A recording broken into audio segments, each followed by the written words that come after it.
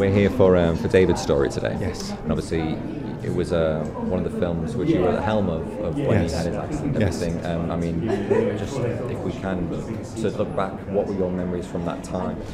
It was very, um, yeah, I remember the day very well. It was there were there were multiple units as there always were. So those days are packed full of things. Everyone's working in their own zones. So the stunt department, the visual effects department, the model unit, the main unit.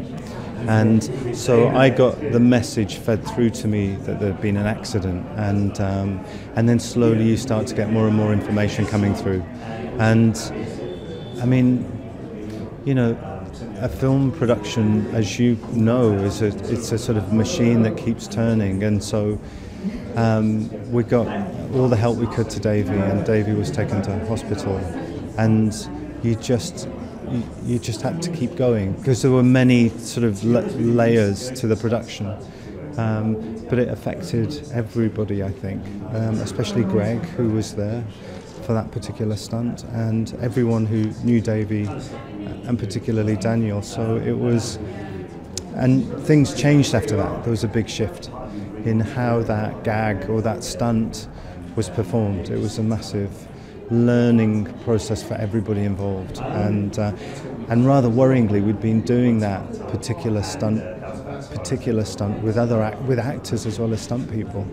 So it's but for the grace of God, you know. Um, but it was it was a very um, it was a very distressing day but we, we pushed on with a lot of the work that day, knowing that in one of our departments, in one section of this big factory machine of making this big movie, this, this event had happened. And finally, from me, I did hear you say that uh, you're a bit Harry Pottered out and therefore may not be involved in uh, the upcoming HBO series.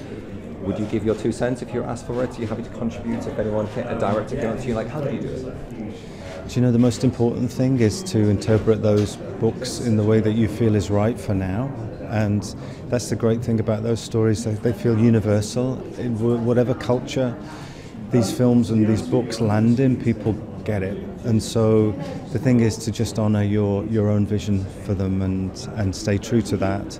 And the one big piece of advice I would have was when we were making them, it was quite challenging for a young cast to be guided through that process. And we were very lucky. We had a great publicity coordinator called Vanessa and David Heyman producing, and, and it, there was a sort of firewall around them to sort of protect them, really. We didn't have social media then in the way that we have it now.